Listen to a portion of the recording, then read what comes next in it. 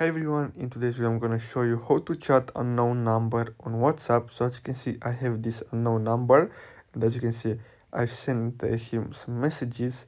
So in order to do that you'll have to uh, add them to your group or you need to be added uh, to a group where there is this unknown number. So as you can see if I go to group and tap on group uh, settings as you can see if I scroll down I can find this unknown number and I can tap on it and then I can uh, tap on info and then I can tap on message. And now I can chat with this unknown number. So I hope you found this video helpful. Thanks for watching